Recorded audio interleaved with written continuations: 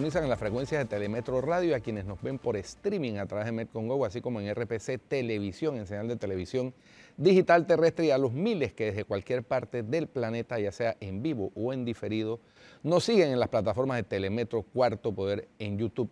Bienvenidos a la emisión de hoy, miércoles 16 de octubre del año 2024 y venció ayer el plazo para que las juntas comunales y los municipios rindieran cuentas sobre los fondos de la descentralización paralela. En materia internacional, las fuerzas de defensa de Israel abatieron al jefe de unidad de drones del grupo terrorista Hamas, Mahmoud al-Mahmoud, en el norte de la franja de Gaza, responsable de dirigir ataques con vehículos aéreos no tripulados hacia territorio israelí y tropas. El ejército israelí aseguró que las tropas de la División 162 han mantenido enfrentamientos directos con combatientes de Hamas en Jabalilla, eliminando a varios de ellos tanto en combates cuerpo a cuerpo como mediante ataques aéreos. En otro frente, las fuerzas de defensa israelí informaron que fuerzas israelíes en Rafah dirigieron ataques con drones contra una célula de terroristas armados que estaba planeando realizar ataques. Simultáneamente, en el Líbano, las tropas israelíes eliminaron a varios combatientes de Hezbollah en enfrentamientos terrestres y bombardeos aéreos. Durante las operaciones, las FDI descubrieron lanzacohetes, bombas de mortero, misiles antitanque y otro equipamiento militar apuntando hacia ciudades del norte de Israel. Según las FDI, bajo la dirección del Comando Norte, se atacaron más de 140 objetivos de Hezbollah en 50 ubicaciones, entre ellas almacenes de armas, lanzadores, instalaciones militares y células terroristas. En una de estas operaciones, fuerzas de, la División 91 identificaron disparos enemigos y guiaron a un avión de la Fuerza Aérea Israelí para eliminar la amenaza. Las FDI reiteraron que seguirán trabajando para interrumpir las capacidades de Hezbollah, tanto en la superficie como en estructuras subterráneas en el Líbano, al mismo tiempo que mantienen las ofensivas contra las operaciones de Hamas en Gaza. Por otra parte, la Embajada de China en República Checa expresó su rechazo ante la reciente visita a Praga de la expresidenta taiwanesa entre 2016 y 2024, Tsai Ing-wen, quien actualmente se encuentra en París como parte de su gira por Europa. La posición de China sobre la cuestión de Taiwán es coherente y clara. Nos oponemos firmemente a que cualquier separatista favorable a la independencia de Taiwán visite bajo cualquier nombre los países que mantienen relaciones diplomáticas con China, señaló la Embajada China en un comunicado publicado en su página web.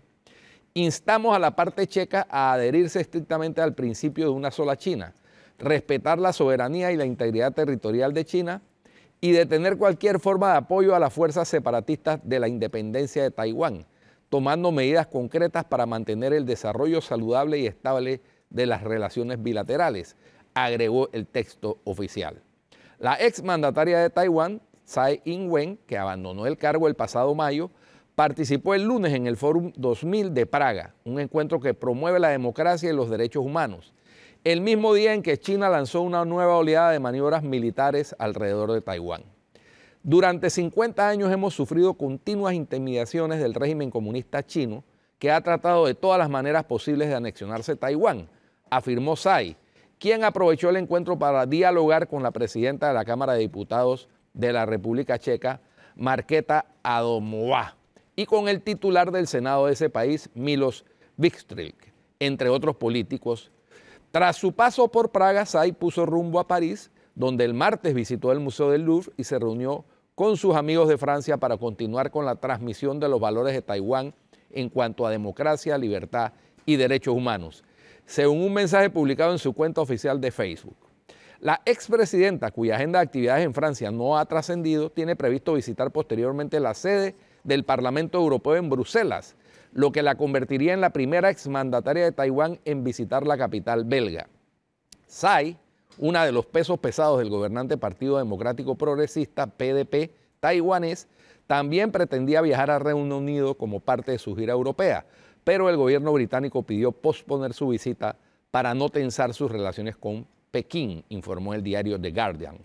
Según tres fuentes consultadas por este periódico, el gobierno británico solicitó aplazar el viaje debido a la posible próxima visita del ministro de Exteriores David Lamy a China. Y por último, el gobierno de Venezuela expresó su respeto absoluto al presidente de Brasil, Luis Ignacio Lula da Silva, pocos días después de que el fiscal general venezolano Tarek William Saab lo calificara de vocero de la izquierda latinoamericana captada por la Agencia Central de Inteligencia CIA de Estados Unidos.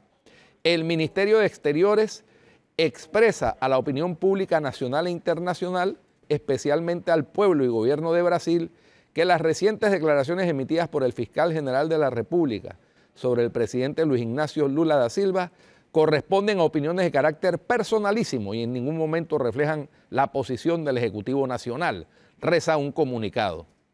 En una entrevista difundida el pasado 13 de octubre en el canal Globovisión, Saab aseguró que está comprobado que el mandatario chileno Gabriel Boris es un agente de la CIA y le sigue ahora, según el fiscal, el jefe de Estado brasileño, quien también fue captado.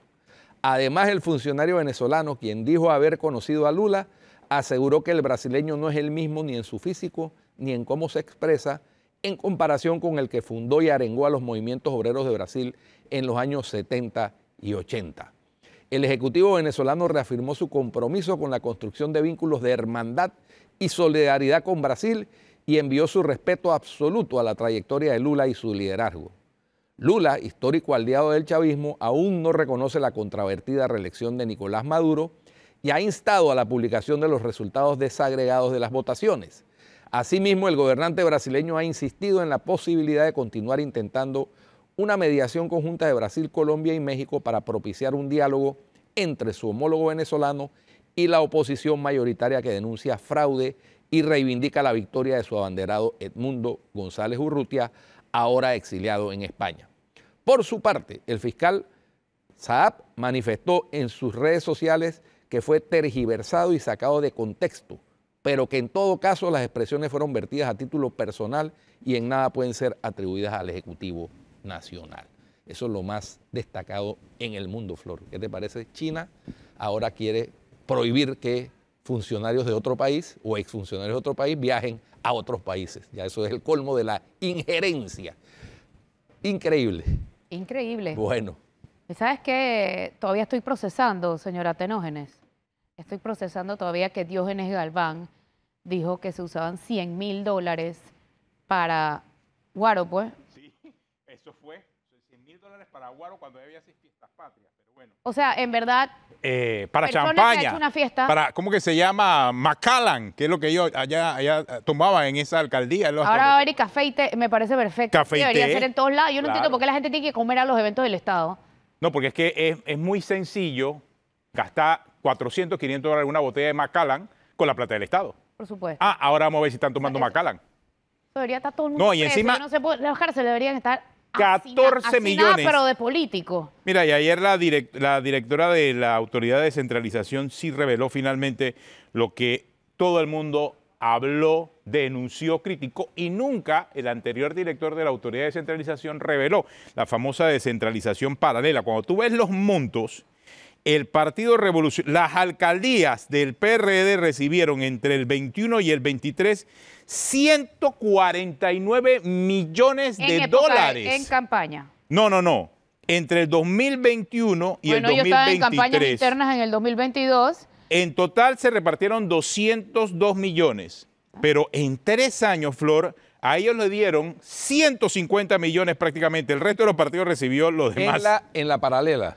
en la paralela. No, en, en descentra- bueno, en la, en- en la paralela. total, exactamente, en la Porque total. sí. A la total. Bueno, La porque es total. hay una que es, Pero es por, que, es que de ese total... hay una que es por asignación Claro, obviamente. igualitaria a todos. Sí, claro. Sí. Pero es que estamos hablando, cuando ves la cantidad de dinero entregado a las juntas comunales del PRD versus el resto de los partidos, con todo y que las juntas comunales del PRD eran mayoría. Era mayoría. Eran En mayoría. el 22 pero se la diferencia es demasiada. Mira, en el 22 se eligieron nuevas autoridades en el PRD. En el 23 hubo primaria y en el 24 hubo campaña. Sí, o sea, todo se utilizó total. para la campaña, Por pues, el mismo esquema del 2000, de las elecciones del 2014, con Martinelli. que todavía están pendientes de, de investigación. Lo que me llama la atención de ese informe es que hay 22 millones que se entregaron al CD, o sea, o a la Junta Comunal de- del CD, 10 millones al panameñismo. O sea, esas están como mucho más, eh, tú sabes, eh, claras a- en cuanto a los dineros oficiales que se entregan. hay 2 millones que se entregaron a la libre postulación, pero hay 12 millones que no están identificados. 12 millones que no están 41 y, y identificados. 41 Wow. juntas comunales era. Sí, en total. 41 juntas cuando tú comunales que no pudieron justificar el uso de los fondos. Del total de las juntas comunales, 41 no han podido justificarlo. Y vemos los esquemas, por ejemplo, del barrio norte, en donde se entregaron 14.1 millones de dólares. Un montón de plata. Si se estaba utilizando 100 mil cada vez que venía una, una fiestas patrias para solamente Guaricampana, imagínate cuánto se está utilizando. Mira, mira estos demás. números. Lo que nosotros podemos decir, y estas son palabras de Roxana Méndez, es que se usaban estas transferencias de manera discrecional, no había un criterio. Esa fue la respuesta de Roxana Méndez, quien precisó de que 754 juntas comunales y municipios que fueron notificados, 385 presentaron informe. Y en cuanto a las juntas comunales, 41 informaron que en el gobierno local no hay ninguna documentación sobre eh, los gastos del dinero, a pesar de haberlo recibido. Eso, eso me produce un déjà vu de la investigación de las juntas comunales. Sí, ¿te acuerdas? 14. Claro, es igualito, es igualito. Por ahí mismo va. Claro, la- pero los montos son diferentes, Guido. Los o sea, ahora es mucho más. Digo, ahora esto se pasó ya de la raya. Esto con es esteroides. Igualito, pero con esteroides. Le suman, la, le suman la descentralización, la que es, Sí, más la, más la la paralela, paralela. que fue la que se usó La paralela. políticamente. Ah, no, y el exalcalde de Colón casualmente está siendo, fue, fue investigado por este tema especulado. No fue investigado solamente, se le condenó en una primera instancia. Ah, y se por llevaron preso, ¿verdad? Sí, quedó detenido, pero obviamente ya después él presentó la fianza y todo lo demás. Y bueno, no sé en qué habrá quedado ese caso. Van a, van a recurrir al manido discurso de que se trata de persecución política. Bueno, ya lo están diciendo los maestros, Eh, bueno. cuando le cayeron con el tema de la operación Capibara. y, y- y a los, y a los de la operación los, los- De Obra Gris, de también, Obra Gris, también. Persecución política. También, la operación Obra Gris también dice el, sindicato de trabajadores este que es persecución política. Claro, sí termina siendo persecución política. Lo que pasa es que son secretos a voces, nunca se investiga y no importa en qué momento se investigue, cuando se investiga siempre va a terminar siendo persecución política. Persecución criminal contra el delito. Eso. Es la labor que tiene que hacer el Ministerio Público. Esa es su labor del día a día, perseguir. Lo que delito. pasa es que hay mucha influencia allí de, lo, de la política, obviamente. Tienen padrinos políticos. Y esos padrinos políticos afectan definitivamente que a la justicia. Ahí está claro.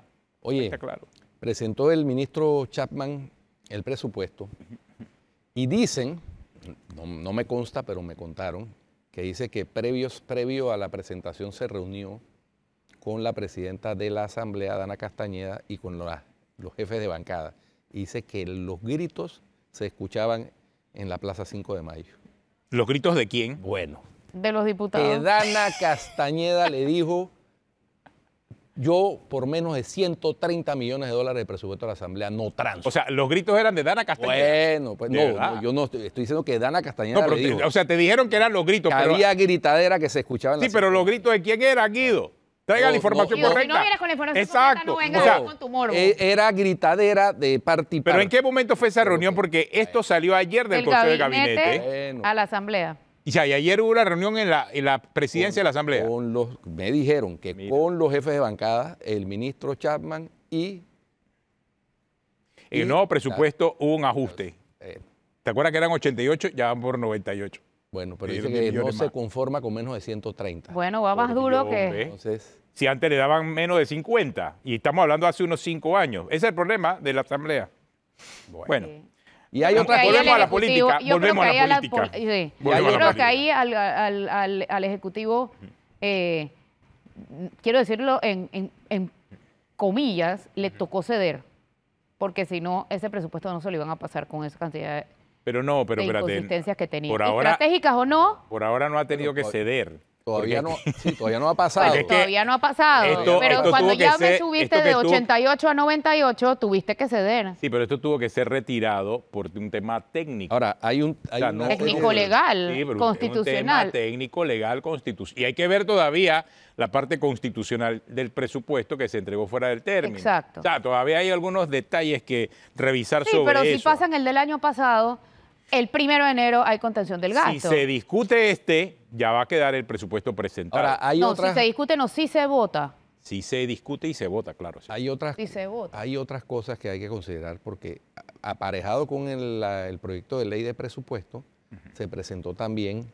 una ley que modifica los términos de la responsabilidad fiscal, modifica Claro. los aportes del canal al fondo de ahorro Y que de debe Panamá, discutirse primero. eh, y O que sea, tiene primero- una serie de cosas que, Claro. según varios economistas, envían, pueden enviar un mensaje eh, Primero tiene que discutirse bastante, la ley bastante peligroso a las Y calificadoras. de primero tiene que discutirse la ley de responsabilidad fiscal y aprobarse, para después aprobar el presupuesto tal como se presentó, porque si no entonces vamos a tener el mismo problema del principio.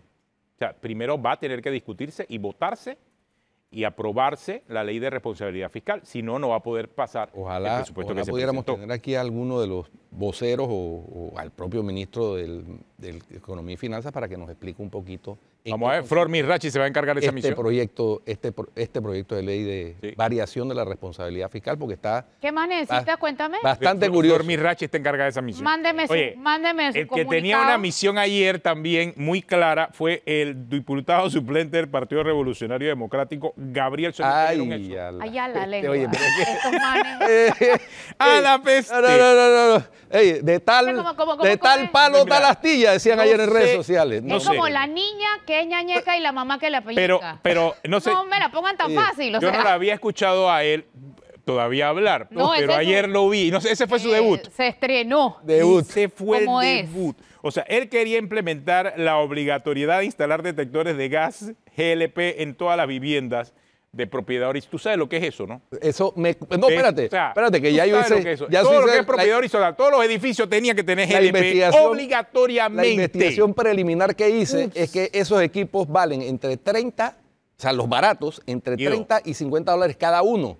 Imagínate de cuántos No solamente eso, Guido. eh, equipos estamos hablando que hay que comprar por Además, obligatoriedad. el- además, la cantidad de técnicos que, por cierto, deben ser ahora certificados por el cuerpo de bomberos, que no creo que alcanzaría para poder solucionar ese problema con Pero la si no pueden de ni con lo que tienen. Para Es que instalarlos. para instalar eso no alcanzaría ni el tiempo ni los técnicos que se tienen en el certificado por el cuerpo de bomberos para poder conseguir que eso se cumpla ni en 10 o en 20 años. Además de que, es un secreto a voces, Sí. igual que Operación Capibara, es un secreto a voces lo que pasa dentro de los bomberos para cualquier trámite. Así es. Así que Ese- ahora menos. No, pero espérate, ya iba a la operación Capibara. Eso en Veragua ocurrió. En Veragua cayeron un par de miembros del cuerpo de bomberos Sí. por ese tema. Y han Porque caído en Panamá cuando también, te toda hacen, la vida. Cuando te hacen una, una inspección por una fuga de gas, o sea, el tiempo que demora el cuerpo de bomberos en poder resolverte ese problema, sobre pretexto de que tienen que venir los certificados, entran, salen, permisos y demás, son tres meses. Es de las entidades En más casos. corruptas, y lo digo abiertamente, es de las entidades más corruptas que hay en este país. Entonces, ahí también hay otra operación Capibara. No sé cómo la van a La, llamar. la velocidad depende de cuánto contacto o cuánta ayuda entregas. ¿Cuál sería el nombre para esa operación? No, pero me encantaría hacer los nombres de las operaciones, te lo he dicho, ¿no? Sí, tú lo has dicho, sí. Tú- hoy, había otro y El de Sol. Capibara, el- sí, Operación Sol. No, están cambiando. Operación. Está sólido. Yo creo, yo creo que a la persona, porque tú sabes que antes se llamaba Jericó, tú sabes, no sé qué cosa. O- Ahora como que van cambiando los nombres. Oye. Ahora tenemos Panamá 3.0. pero me encantaría Operación saber quién Sol. los hace. Yo le voy a preguntar al procurador. Sí. Quiero que me dé No sé si es el procurador o es la No, policía. mejor no digo nada. ¿Qué? Operación Dispositivo Feliz. Opera- operación. Esa es la del LP, de la de los bomberos. No, Operación un Dispositivo nombre. Feliz. ¿Ah? Un mejor nombre a eso. ¿Cuál, ¿Cómo le bueno, pondrías? No, no, es feo para decir. No, entonces. Pero oye, pero el, el diputado este Pero de hay Chiriquí. muchos dispositivos felices. Oye, el diputado de Chiriquí lo desenmascaró, pero ¿de qué manera? O sea, lo hizo quedar muy mal. De Jonathan Vega. Jonathan Vega. Jonathan Vega. ah, de- Oye, me dijeron que el diputado de- Jonathan Vega fue, eh, eh, él trabajó en la DIJ. Ajá. Sí, sí. Sí, Y me dijeron sí, que lo sacaron. Ah, sí, de la DIJ. Ajá. No es- ah, sí, ¿por qué lo sacaron? No sé. No sé por qué me pone esa cara. Te estoy diciendo. Pero si sabes, no sé, está igual que Guido. ¿Va información correcta y completa Bueno, o nada más te qué? estoy diciendo que nos cuente él. Vamos a llamarlo. Vamos a llamarlo. Esa misión es tuya, pues. Dale, pues. Listo. Tú tienes la misión de Chatman, tengo la misión de Jonathan Vega. Dale, pues. Dale, pues, voy a llamarlo. No nos sirve Pero- también el viceministro, que no me molestaría que viniera. Bueno, está bien, pues sí, puede ser viceministro. Pero perfecto. después de Christiansen, porque ustedes vieron lo que les mandé al chat, me ignoraron ayer. ¿Cuál look? Pero lo de Cristian se fue misión de Guido. Él No, pero debió es que- traerlo. Él es un Sí. Él falluco. debió traerlo hace muchos años. No, pero ustedes vieron ahora. le está debiendo eso. eh, eh, No, me- no, ya, no. ya, ya se venció. No pierdo la esperanza de que. No pierdo la esperanza. Lo que pasa es que, mira, Thomas Christiansen ni a los programas de deportes les gusta ir. No me Entonces, importa. imagínate Pero es invitarlo que a un programa. mandó, ayer lo mandó de un- opinión, un, programa de de opinión de qué va a decir acerca de Cuarto Poder. No, me No, importa. cuidado con lo que Yo digas. no quiero ni hablar con opinión él, yo no quiero que política. se sienta ahí como un adorno. Un programa de opinión política. o Si sea, no quiere que ni, ve- que ni hable, nada más que se sienta Oye, bueno, aquí, bueno, oye. hablando de la asamblea y de las iniciativas, pr- primero estaba la del diputado Solís y también la de Jamis Acosta. Esa no puede pasar desapercibida. no, por supuesto. Porque esa sí venía, o sea, son diputados jóvenes, caras nuevas, acaban de llegar a la asamblea y salen con lo mismo, mejor dicho, no con lo mismo, Con igualito y peor. igual o peor de lo que estaba sentado ahí en la asamblea. Entonces, ¿para qué van a la asamblea? Explíqueme. O sea, o van a, o van a cumplir simple y sencillamente con representar intereses de aquellos que los hicieron que fueran funcionarios, o realmente ellos tienen conciencia que son diputados. No sé, Porque pero en muy que poco no. tiempo, en muy Pareciese poco no. tiempo vamos a saber. Van sacando las uñas, Sí, van sacando va- las en- uñas. en Y son diputados tiempo- jóvenes, que es lo que a mí más me preocupa. Ojo, pero jóvenes vinculados a partidos políticos, que es todavía peor para los partidos Bueno, políticos. ya les dije que Peor para los partidos en políticos. el caso de, de, Sí. de James Acosta, pues él es abogado, eh, ha sido abogado del expresidente Martinelli, ha sido abogado del expresidente Martinelli en casos de calumnia e injuria, ha sido abogado del expresidente en casos de calumnia e injuria que no han prosperado y entonces ahora se saca de la Oye, pero chistera está bien. este- pero ahí está este- Camacho, que es amigo del señor Ricardo Martinelli, y Camacho no se sale con ese tipo de cosas. Bueno, Camacho sale con cosas también también se- peores, han ¿no? salido, Ay, Perdóname. Camacho también se ha salido con su par de cosas. Pre- Prevaricato ¿Por qué de la Cama- amnistía por qué la Camacho cosa. no propuso esto? Bueno, porque también Bueno, tiene que pues. dividir lo- lo- los costos emocionales eh, y reputacionales. O sea, jalárselas todas el pobre Camacho. Oye, también el tipo tiene dignidad. Tiene dignidad, ¿no? El- Pero no, mira, no, pero- esto, esto no tiene ningún tipo de sentido No, pues. con el. Oye, o sea, el presidente está firmando la declaración de Chapultepec y entonces en la asamblea va en otra dirección. No tiene sentido. ¿Cuándo no es Pascua en diciembre? Bueno, pronto, como decía hace un ratito. Por ser nuevo, eh, por ser nuevo le tiraron la cascarita de. ¿Quién es? No, no, no, creo. eh, nuevos, Estaba pero no claro. novatos. Y Él son estaba nuevos claro. en la asamblea solamente. Eh, él estaba Pero claro. no son ni unos chiquillos. Él estaba claro lo que estaba presentando. Chiquillos de porra de los de vamos, pero de estos no. Oye, pero, pero. Hay que, hay que- pero de todas maneras hay que estar atento a ese anteproyecto. Totalmente. Porque, no puede, no porque- puede. Porque hay varios diputados Sí. que piensan que sí, que hay que aumentar las penas por la, la calumnia y la injuria, que ahora que hay redes sociales. Es el momento. Y Vamos a ver desafortunadamente, si, si la, si la, si la, si la, el ¿Si la sistema los absorbe o lo expulsa ¿A quién? a estos diputados. No, los va a absorber, Flor. Ya Tú los estás viendo cómo, ya no estás viendo cómo está la asamblea. Ya los y por eso hay que establecer la diferencia. Miren. No, como en son de partidos, quizás se claro, expulsa. No, ¿qué? Van a expulsar. O sea, No, los partidos no, ellos se autoexpulsan. tampoco, o sea, por el contrario, los partidos políticos están buscando gente así. Están Entregada. buscando gente así. pero claro. se necesita, mira, se necesita. ¿Qué se necesita? No, independientemente del, del- lo que haya sucedido con el diputado, con el hoy diputado Jonathan Vega, en su pasado reciente, no sé, no conozco. Eh, salvo No sé, cosas- Flor, Flor la salvo dice. rumores que circulan en grupos Flor de es la chat, que yo- dice. Yo, yo con los rumores no, No sé, Flor es la que trae esa información acá. se necesitan diputados que hagan eso Exacto. con sus colegas. Eso que hizo él con. Gabriel Solís. Así es. Se necesita. 100%, pero Así es. 100%. Y que, y que lo desenmascaren y que, le- y que lo pongan. Este, Mira. ¿Usted qué proyecto está presentando con un interés personal en él? Cuando yo veo a los diputados de Vamos. espectacular. Claro, cuando yo veo a los diputados, y pues, puntualmente el diputado Jonathan Vega, independientemente de lo que tú dices, Flor, ¿Qué digo yo? porque tú dices de que sí, que él era de IJ y que no, se- lo sacaron. O sea, hay que, hay que ver de qué forma sacaron. Por y por qué que- lo sacaron. Sobre Oye, todo porque exacto, por en la de no es que uno que- puede estar hablando mucho ni está cuestionando mucho porque rápidamente te van Claro, sacando. Eso es de la policía. Así es, eso es lo que pasa.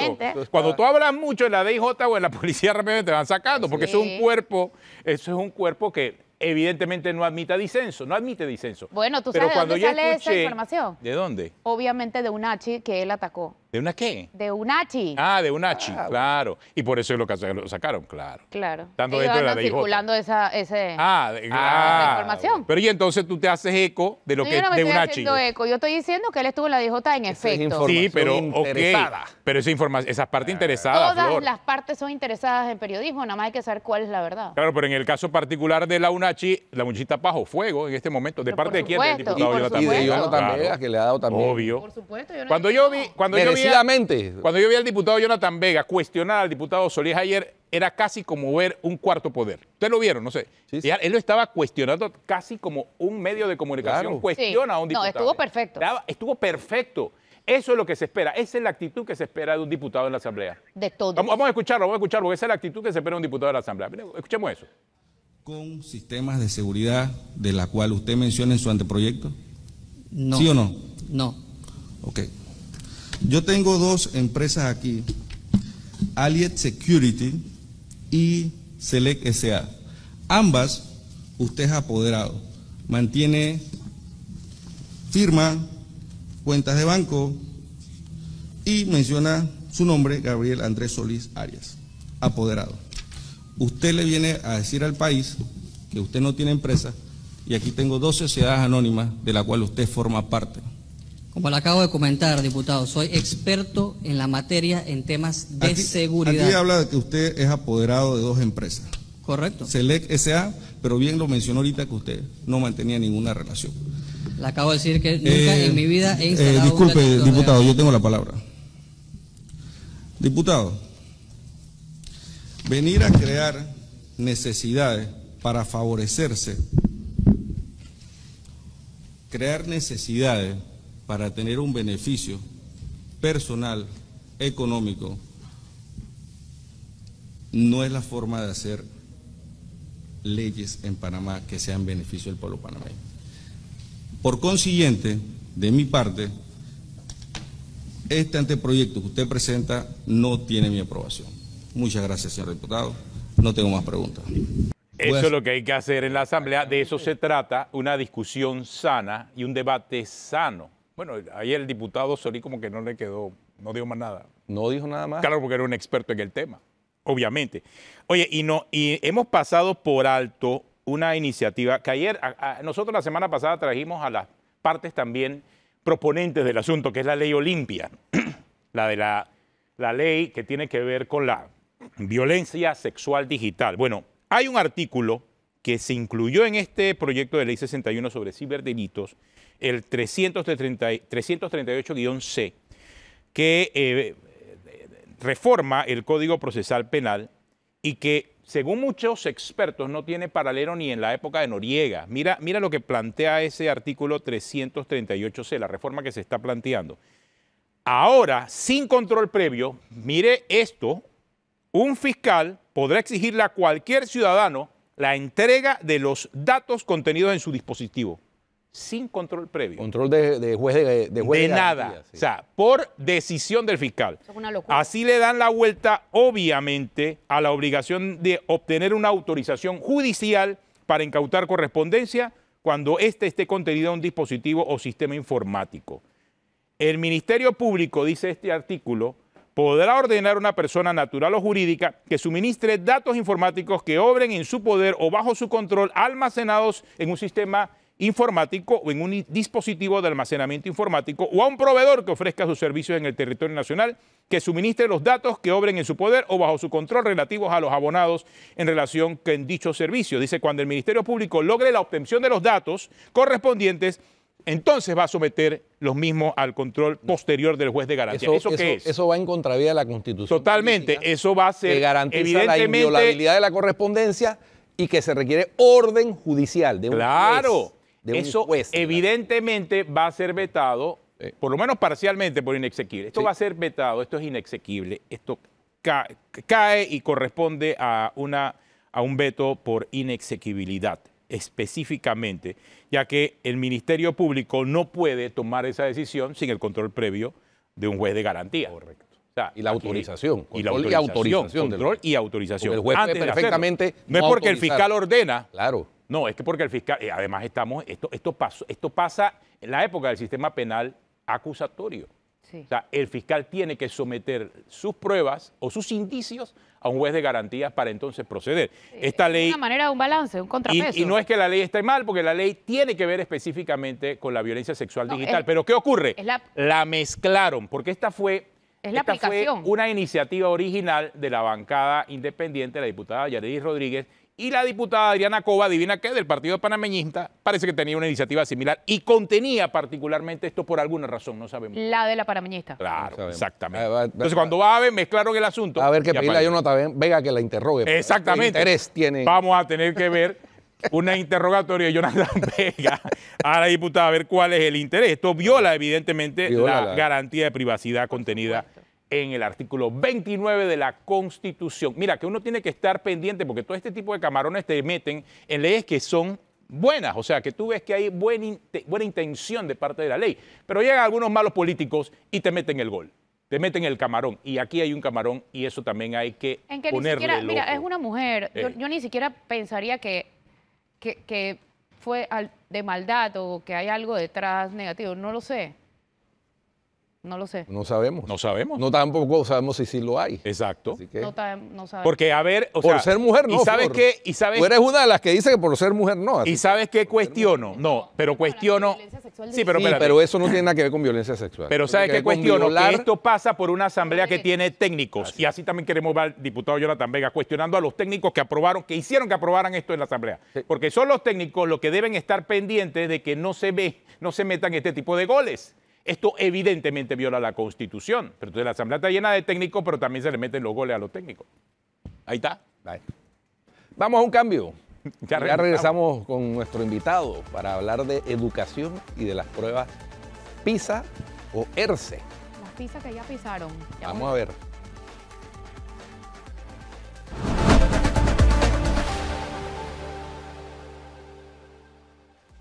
Continuamos aquí en Cuarto Poder. Nos acompaña el diputado Jorge Bloise, también de la bancada independiente Vamos, y, y nos pregunta, bueno, pero ¿por qué no traen a diputados de los partidos políticos? Los invitamos también, pero no quieren venir al programa. ¿Qué ¿Por podemos qué? hacer? Flor los llama y no quieren venir, ¿sí o no? ¿Tú no los llamas ¿A quién? a los diputados de los partidos para que vengan al programa? Pero aquí ha estado Camacho. Ah, el único. Ustedes, digo, ustedes, ustedes de todas formas la tienen contra Camacho, la verdad. ¿quién? No, ustedes, aquí ustedes todos hemos lo tienen me contra tenido- encanta Camacho. que venga Camacho. Me Pero el encanta, me único, hace el día. el único que se la rifa es Camacho. No, aquí hemos, aquí hemos tenido al jefe de bancada del panameñismo. Una vez lo, he- lo, he vuel- lo, vol- lo volví a llamar. Y no- ¿Adivina qué? Nada. Cri, cri, cri. No hay respuesta. Pero porque te tienen miedo. Ah, no, no quieren venir al programa. Pero te tienen miedo. Bueno, pero, te- pero tenemos a No, te los, tienen miedo a ti, yo creo. tenemos a los diputados que, que Porque tú, tú los llamas y a ti es que te dicen que no. Tenemos Por a eso los llámalos tú, diputados tráemelo. No, no, no, no. Eres tú la que vaya. tenemos a los diputados que vienen Claro. y bueno, Exacto, ¿qué podemos hacer? La Y bancada contento, vamos, pues. contento de venir, de verdad. Claro. ¿Por qué? Porque el que no la debe, no la debe temer. Así y ese es. es. el mensaje a los partidos políticos. ¿Oíste? Sí. Ya. ¿Y por qué yo? ¿Qué tengo que ver? Vino con, Guido vino con un morbo aquí hoy. ay, chala yo. Guido vino con un bochinche ¿Cuál? no concluido y necesitamos que tú lo concluyas. ¿Cuál? El- la reunión que hubo ayer entre los diputados y el ministro Chapman antes de la presentación, o sea, entre el gabinete y la presentación del... No sé si, si hubo una ayer, sé que una con jefes de bancada muy tensa, en la que no estuve.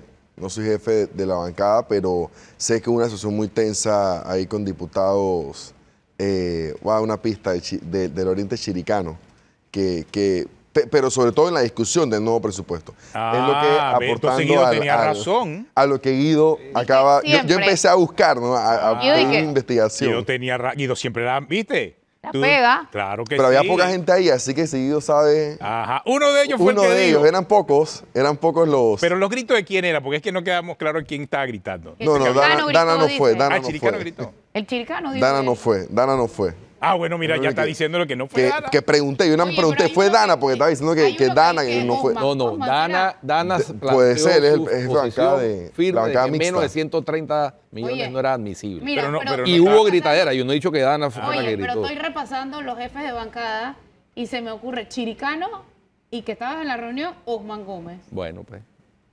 Hay que votar al ministro, Hay que ver si estaba gritando, ¿no? confirme. Bueno, porque es que jefe, jefe de bancada chiricano nada más me acuerdo Sí, de él. cierto es que ayer llegó el nuevo presupuesto, eh, ya yo lo estoy revisando, analizando, veo aportes importantísimos, aumentos en sobre todo MOP y MIBIOT en temas de inversión. Eh, veo un ajuste importante, estamos hablando de 700 millones en, en- en el MOP, por ejemplo, en inversión.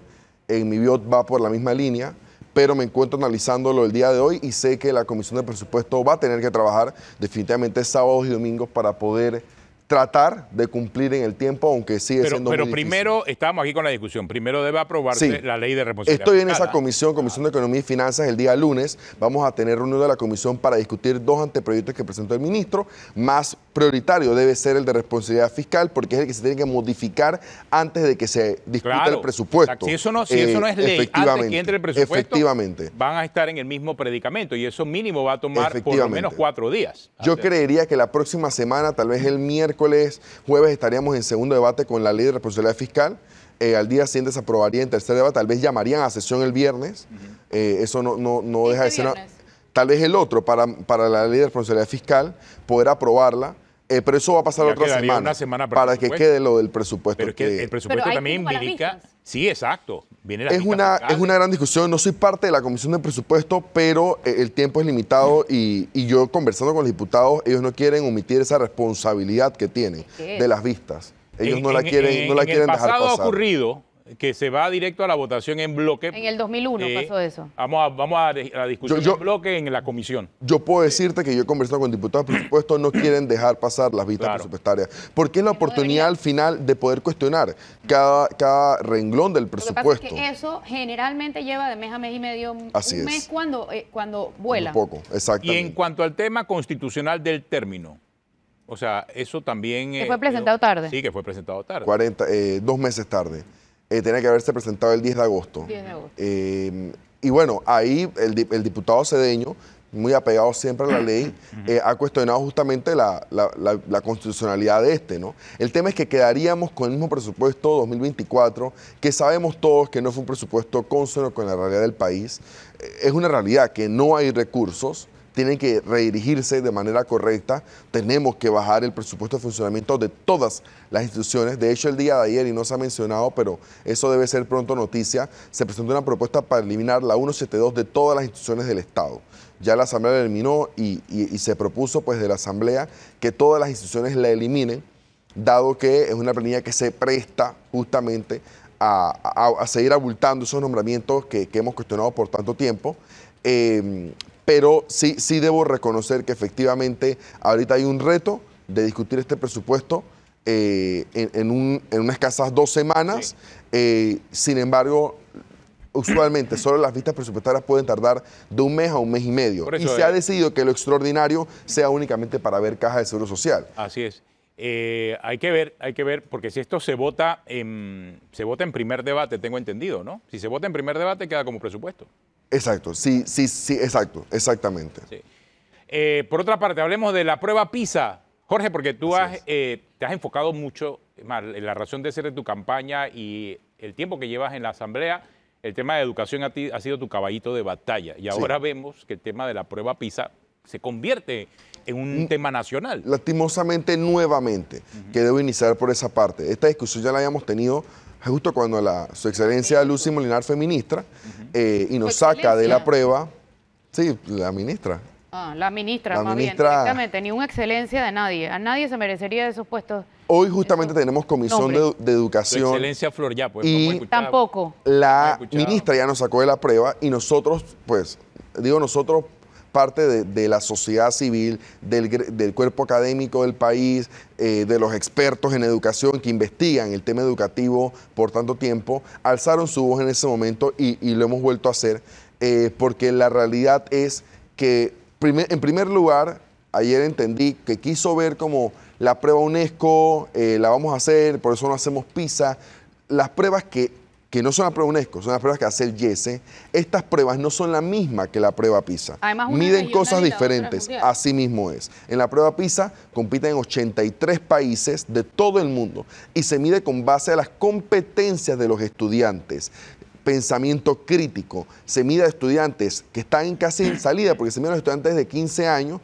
que están usualmente en tercer año, y en la prueba que hace YESE, que es la de UNESCO, solo los estudiantes de tercer y sexto grado, es decir, le falta todavía toda una etapa por culminar, y es no solo regional, sino que mide los contenidos académicos, con base al currículum regional. Es decir, no tiene una mirada mundial de un mundo que constantemente va cambiando a pasos agigantados, pero que va cambiando eh, eh, en, todo, en todo el mundo, ¿no? O sea, no solamente, eh, yo pienso que tenemos que reconocer la importancia de PISA, dado que es la oportunidad de medirnos con los otros países del mundo, no solo de la región, de cómo estamos parados y cómo estamos avanzando. Que aparte, el gran aporte de PISA son todas las recomendaciones que hace a la política pública educativa.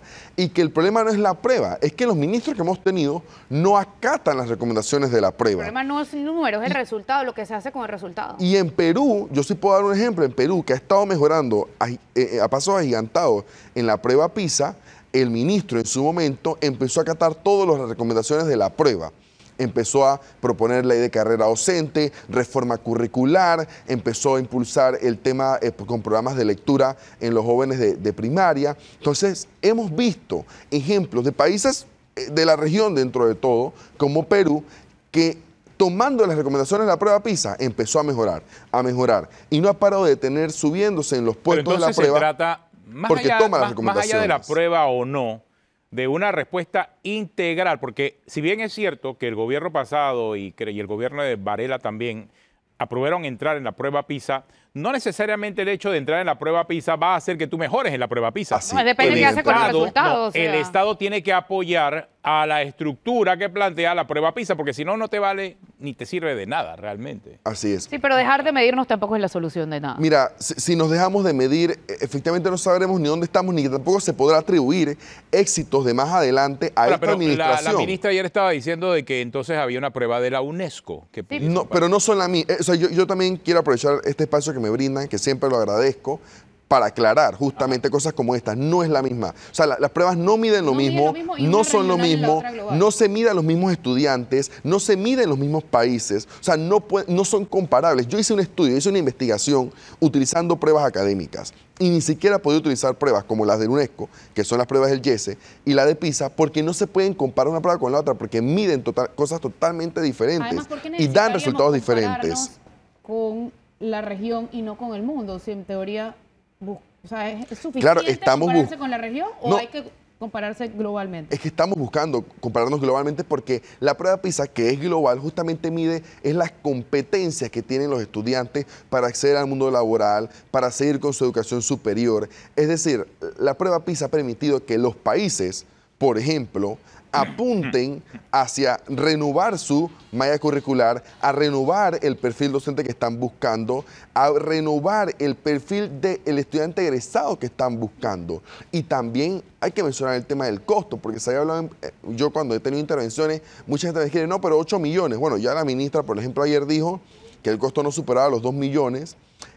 La propia gente de la OCDE mencionó que el costo de la prueba es 200 mil. Entonces, yo creo, hace poco tuvimos en, en la Comisión de Presupuesto un traslado de partida de 3 millones del Meduca, se le quita plata al Meduca para pagar la cuota anual de la ONU. Entonces, hay prioridades. y una prioridad debe algo- ser medir el sistema Jorge, hay, hay para un mejorar. elemento, hay un elemento y, y creo que, bueno, nadie lo ha mencionado todavía, ¿no? La prueba PISA también hay que aclarar que es de la OCDE.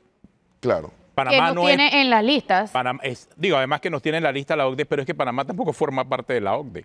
No, pero los 83 países tampoco. ¿Ves? Eh, ni, Eh, ni- ni todos los países Hay que la aplican la países prueba. que aplican la prueba y que no están en la OCDE. la gran obviamente. mayoría. Pero no sé si esa será una razón, porque Flor también acaba de anotar otro punto de que la OCDE nos tiene en las listas. Entonces, no sé también si habrá o será esa una de las razones por las cuales pues no se le quiere entregar ese dinero a la OCDE. Pero por de el tema de meritar la PISA. prueba no va a hacer que nos saquen de las listas tampoco. Exacto. Y, no sé si esa sea la razón, ojo, pero nadie lo ha mencionado hasta ahora, pero también es un elemento. No todos los países de América Latina tampoco están en la prueba PISA. O sea, también esa es otra realidad. No sé si tú la has evaluado, ¿no? No, no, totalmente. Y ojo, cada vez más países se han incluido en la prueba. Ahorita se incluyeron tres países más en esta 2025 porque justamente se han dado cuenta que es necesario, es necesario medirse con el mundo. No con tu región ni con una prueba que mida el contenido curricular, sino con una prueba de competencias. Hoy, el- hoy ¿qué pedimos? Que los estudiantes salgan con pensamiento crítico, con argumentación, con, con las habilidades blandas, ¿no? que es lo, lo que tanto Claro. se llama. Esto es lo que mide la prueba PISA. Entonces, esa, esa capacidad, e- eso es lo que mide esta prueba, que no te mide justamente, por eso es compleja, porque es una prueba que mide las competencias de los estudiantes que van de salida, los estudiantes ya de 15 años de los sistemas educativos del mundo. La prueba PISA mide lectura, ciencia y matemáticas. Así es, pero con pruebas de la cotidianidad o, o en, o en un escenario pues de, de la de- ejemplos de- exacto ejemplos de la vida cotidiana del propio estudiante eh, que pongan en práctica esas habilidades blandas que estamos hablando entonces es parte del valor que tiene la prueba que se, re- se refuerza con la recomendación que hace siempre la prueba de política pública que es la manera de que los países tienen que implementarla para poder seguir mejorando. Y nosotros tuvimos una leve mejoría en la última prueba PISA. Es valioso entender si esto, a qué se debió, si seguimos eh, eh, creciendo progresivamente en la prueba o si echamos para atrás. O sea, es es una prueba de verdad que... Digo, y definitivamente no yo- iría mal porque no se ha hecho nada en concreto y grande para que eso cambie. Pero no porque uno Estamos sale acuerdo, mal en pero- un examen, uno lo deja de hacer. Yo sufro del colesterol alto y porque siempre tengo colesterol alto me voy a dejar hacer la prueba. Eso no es un, no es un No, no, no, argumento no, no válido. el. Que, el que salir mal, eh, lo mismo dirá Singapur, que si siempre sale en primer lugar, ¿para qué la va a seguir haciendo? Finlandia. Eso yo lo no es pero. Si sale bien, justamente ¿para lo qué la van a escribí hoy en la, hacer? colu- eh, la- en la columna mía puse, eso es como pedirle a la escuela que no te entregue el boletín de tu hijo porque ya sabes que el man raya el 2 9. O, o di que no voy a donde la... Tenemos, tenemos una pausa, ya regresamos aquí a Cuarto Poder.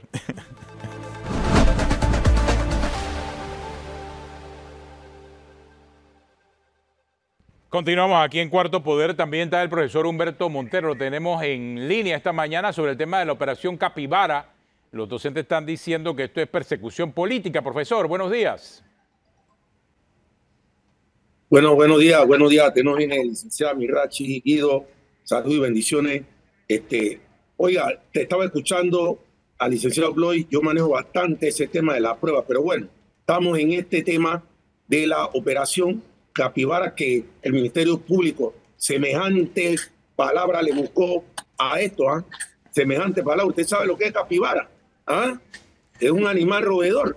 Y, Entonces, es- y eso lo que era esto, ¿ah? una mafia, bueno. una- unos nombramientos a cambio de, de, de No, no, no, plata, eso es de roedores. Una ratonería. Es una ratonería. Dicho, ¿Qué pasa, pero- profesor? pero, déjeme hablar. Dele, pues. Nosotros, nosotros en ningún momento hemos hablado persecución. Eso lo dijo la ministra Mira. de algunos sectores. Nosotros no hemos hablado persecución. Nosotros hemos dicho que lamentable la operación el día viernes 11 a dirigentes maiteles que salieron con grilletes, se le hicieron acusaciones en el sistema penal. Ahora va a haber audiencia el jueves. Nosotros solamente queremos vamos a ser solidarios ante los compañeros, que se respete la presunción de inocencia, se respete el debido proceso y que el Ministerio Público haga lo que tenga que hacer. Nosotros aquí no estamos tapando nada. Ah, si otros sectores han dicho que aquí hay, como le dije al, al licenciado Atenógenes anteriormente, otros sectores han dicho que hay funcionarios involucrados, eh, docentes jubilados. Bueno, lo han dicho esos tres otros sectores. Nosotros no tenemos argumentos, como tampoco lo tiene la fiscalía. No lo tiene. Ha, declarado eh, prácticamente medidas cautelares y sigue, porque no tienen argumentos. Entonces, aquí el tema, si hay que investigar de manera integral, comencemos por las direcciones de recursos humanos, porque las comisiones de selección, que antes eran juntas de regionales de selección, las comisiones de selección, está un, un comisionado de los gremios, uno de los padres de familia y uno del ejecutivo. Profesor, no Entonces, entiendo algo. ¿Usted los- por qué está defendiendo no esto? nombran. Los comisionados no nombran. Pero, nombra pero, pero máxima profesor, eh, necesito entender, ¿usted por qué está defendiendo el nombramiento irregular de docentes? ¿Por, qué- por cómo se defiende no, no, eso? no, no, no. Nosotros que la autoridad, mire lo que he dicho, licenciada, que la autoridad haga lo que tengan que hacer, que la justicia haga lo que tengan que Pues hacer. por eso está Pero haciendo. La persona es inocente hasta que se le compruebe lo contrario. Eso es lo que nosotros nos mantenemos. La justicia tiene que hacer su trabajo. Tiene que hacer su trabajo. Es lo único que nosotros hemos solicitado, porque aquí sabían dónde estaban los dirigentes magisteriales, los docentes, y se le hizo allanamiento. ¿Por qué no le notificaste? El licenciado Guido, que es abogado, sabe, ni siquiera una notificación. Se hizo esta operación y empañando la dignidad de los compañeros, allanando de una, mena- de una manera exuberante, hagan las cosas bien. Si hay responsabilidad, entonces la justicia tiene que hacerlo. Yo no estoy apadrinando nada. Bueno, gracias, profesor Montero. Ya sabe, entonces, eh, Flor. No, y la opinión de la prueba, si se Sí. puede rapidito, hay tiempo. Eh, profesor, profesor, eh, su opinión sobre el tema de la prueba PISA. Pero rapidito, así. ¿Cómo no? Mire, mire, la prueba, la prueba PISA, el, el diputado habló algo importante. La prueba Jersey, que es el, el- el laboratorio latinoamericano, donde se incluyen pruebas CERCE, ERCE, TERCE para estudiantes de tercero a sexto. Son pruebas internacionales también. Aquí hay que poner la casa en orden primero, señor diputado, porque la prueba PISA, es más, la ley orgánica dice que el Ministerio de Educación tiene que revisar los contenidos programáticos, el currículum y los, contenidos están desfasados. Pero, pero la, dicho, pregunta es clarita. ¿Usted está de acuerdo o no está de acuerdo con que hagamos la prueba PISA? Es que las pruebas tienen que ser nacionales y regionales primero. Mire lo que dijo el diputado, usted no sale mal los estudiantes, pero se señala a los docentes. Medir, medirse con el mundo, no. tenemos que medirnos regionalmente, nacionalmente y después con el mundo. Ah, pero entonces, Hay que ordenar la casa en primero. ese caso sí está a favor de la ministra de Educación. Sí está con la ministra. No, no, no. La, la- es importante medir a los estudiantes en su competencia en todas las áreas. Sí, crecer tampoco se está haciendo. La prueba nacional tampoco se está haciendo. Bueno, Listo. No es que, es que la nacional y la regional usted no la puede hacer si tú no revisas el currículo. El currículo está desfasado. Tú no puedes compararte con países como Uruguay, Chile, como dijo el Y, diputado. y no te puedes comparar con aquí mismo. Si la prueba nacional tampoco la hacen. Por eso mismo, porque no se ha revisado el currículo. La administración pasada violentó la norma. Cada cuatro años se debe revisar el currículo. Es una tarea, No, pero- es una tarea que, que tiene que hacer. gra- gracias, Bueno, profesor. pues. No, pero de una forma u otra coincide con lo que dice Jorge. Yo, yo lo que sí. Porque debo- la si nosotros estamos desfasados en la revisión del currículum, ahí hay un problema también. Claro. Claro que hay un problema. comparar peras con peras. Hay que comparar Por peras con peras. pero medi- hay- hay no medirse temas. no es la solución. No es, no es De tan blanco o negro. Creo que hay un tema gris en el Y medio. ojo, él, si- por si viene, o sea, el, el cuestionamiento con la ministra con el tema de las laptops fue parecido. Si no tenemos internet, no tenemos electricidad en las escuelas, ¿por qué las laptops? ¿No? Entonces ella argumentó, no vamos a esperar a tener todas las escuelas listas para llevar las laptops. Es lo mismo de que no vamos a esperar a reformar todo el currículum para entonces aplicar la prueba. La porque, porque el sistema educativo Claro. por sí solo, o sea, recordemos que la prueba, esta prueba, no es como la de YESE que mide el contenido curricular que le está alegando el profesor Montero, sino que la prueba PISA mide las competencias de los estudiantes, que eso va de, No, de y- por sí, en un mundo lo- tan globalizado, Lo eso que usted va plantea es claro, no solamente es, el tema de la prueba, es todo lo que hay alrededor de la prueba. Claro. Vamos a involucrarnos en eso. Hay un proceso para crecer en esos números, lo que no Y ha habido hasta ahora. y hay una corresponsabilidad Claro. de los docentes, de la sociedad civil, de los padres de familia, también con estos resultados. Es. Lo que La pasa es que solo- se lo achacamos solo a los estudiantes que salen mal. No, aquí hay una los responsabilidad de todos los actores. Son víctimas. Correcto. Así Claro, es. Muchas gracias, diputado. A la orden siempre. Se nos acabó el tiempo. Si usted sigue en sintonía de Telemetro Radio, siga con los muchachos del Bronx y en RPC Televisión, El Gordo y la Flaca. Hasta mañana.